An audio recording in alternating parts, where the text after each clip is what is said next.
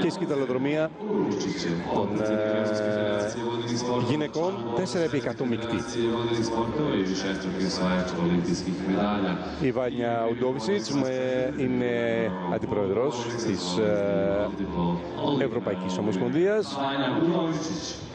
Μάλλον ο Βάνια Ουντόβισιτς, με συγχωρείτε. Η Στεσνάνα Ζούκιτς, η πρόεδρος της Σερβικής Ομοσπονδίας, θα κάνει την ε, απονομή. Ο Βάνια Ουντόβισιτς, ε, σαφώς, είναι ένας από τους ε, κορυφαίους πολίστες της ε, Σερβίας. Treće mjesto i bronzanu medalju osvojio je Representing Ukraine, Vladislav Bukov. Ο Βλάντισλαβ Μπούκοφ πριν από τρεις με- μήνες περίπου στην Τόχα αναδείχθηκε πρωταθλητής κόσμου με 21-38. Σαφώς ε, αυτό το ευρωπαϊκό πρωτάθλημα μπορεί να είναι ένα μικρό πέρασμα για τον ε, ίδιο, όμως ε, ήρθε εδώ, συμμετείχε κανονικά και παίρνει το χάλκινο μετάλλιο. 21-85 είναι ο χρόνος του. Winner of the silver medal. Υποκλίνεται στην ανωτερότητα δύο Representing Ελλήνων. Sergios Pilas. Ο Στέργιος Μπίλας κατακτά την ε, δεύτερη θέση στα 50 ελεύθερο των ανδρών. Ασημένιο μετάλλιο για τον ε, Έλληνα πρωταθλητή, τον πρωταθλητή Ευρώπης στα 50 πεταλούδα.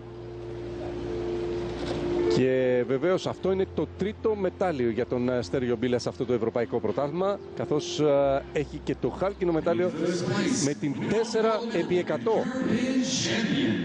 Prvo mjesto, zlatnu medalju i titulu šampiona Evrope u disciplini 50 metara slobodno osvojio je Representing Greece, Christian Colby.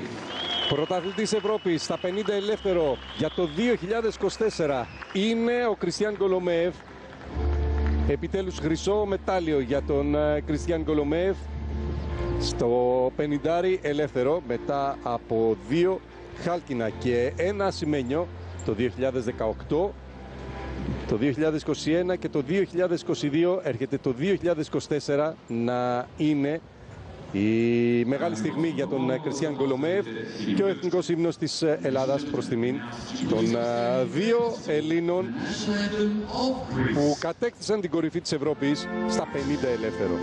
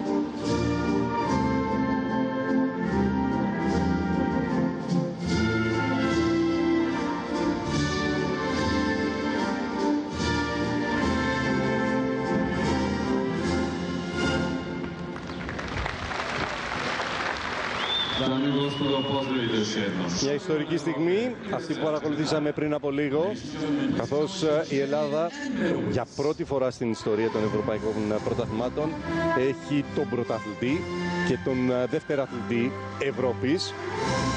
Και λέμε πρώτη φορά γιατί δεν το έχουμε δει για δεύτερη φορά στο βάθρο. Θα το δούμε λίγο αργότερα. Να έχουμε ένα ακόμη, ένα-δύο για την Ελλάδα στα 100.